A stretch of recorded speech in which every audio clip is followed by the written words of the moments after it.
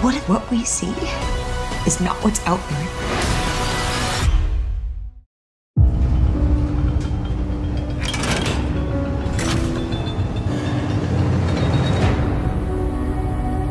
We do not know why we are here. We do not know who built the silo. And why we are underground. We only know the world outside our sanctuary is death. If you boil the pact down to one rule, it's do not say you want to go outside. Or you will go outside.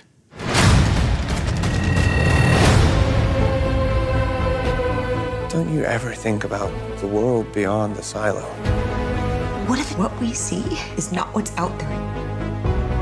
Down in mechanical, there's always someone who has a theory about the silo. And I need to find out the truth.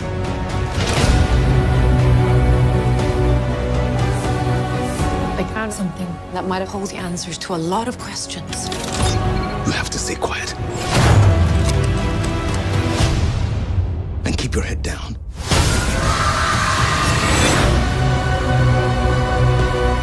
Are you willing to give everything you have for this? The clock is running. There isn't much time left. This is a threat to order in the silo. I don't care about order.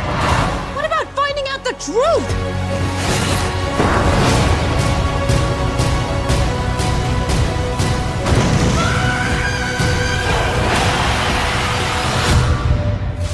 Some mysteries are best left unsolved.